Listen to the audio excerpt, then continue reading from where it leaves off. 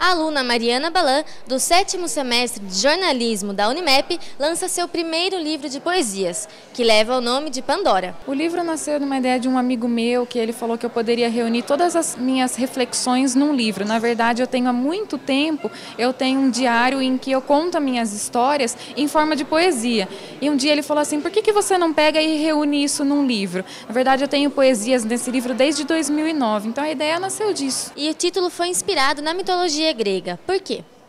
Na verdade, ele foi inspirado na caixinha de Pandora. Tem três poemas que remetem à mitologia grega. A Pandora, ela abriu a caixinha e todos os males do mundo foram soltos e sobrou a esperança. E, na verdade, é a esperança que eu quero mostrar, os sentimentos bons que a caixinha deixou. Na verdade, é, é na verdade uma analogia que eu faço. É a ideia de que todo mundo pode deixar a sua caixinha de Pandora abrir e deixar os sentimentos fluir por meio da literatura. E nos dias 2 e 9 as pessoas poderão participar de oficinas de poesia, né? Qual é a proposta?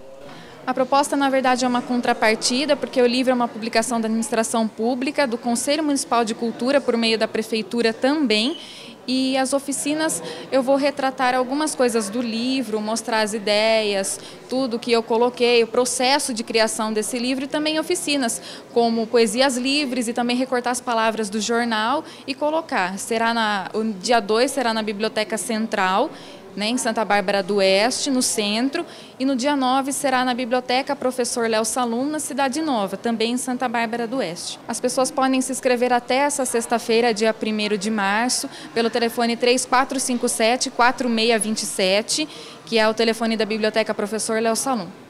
E onde encontrar o livro?